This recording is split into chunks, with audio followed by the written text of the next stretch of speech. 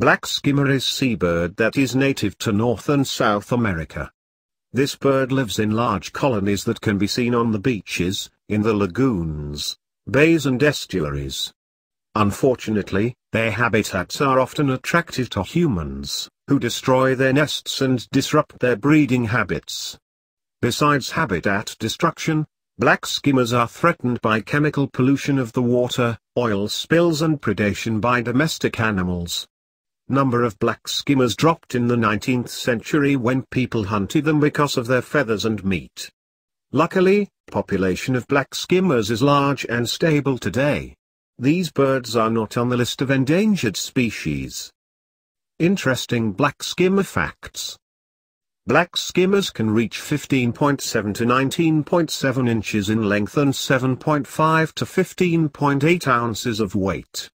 Males are much larger than females. Upper part of the body is covered with black feathers.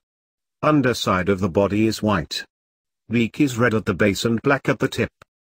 Black skimmer has large head, elongated beak with long lower mandible and short legs with webbed feet. Black skimmer has narrow, pointed wings and a wingspan of 42 to 50 inches. Black skimmer is active at dusk and dawn, crepuscular animal. It occasionally hunts at night. Black skimmer has vertical pupils that turn into narrow slits during the day to protect eyes from the sun which reflects from the surface of water and sand. Black skimmers eat small fish, crustaceans and mollusks. They travel up to 5 miles offshore to find food. Black skimmers fly close to the surface of water with open beak and submerged lower mandible. They use sense of touch to detect prey. Once the prey is detected, bird quickly closes its beak to catch the prey. Main predators of black skimmers are gulls, dogs, cats and rats which target young birds and eggs. Black skimmers are migratory birds. They spend winter on the Caribbean and on the subtropical coasts of Pacific Ocean. Black skimmers produce bark-like sound, cack cack cack, for communication. Black skimmers live in large colonies that can consist of few thousand mating couples.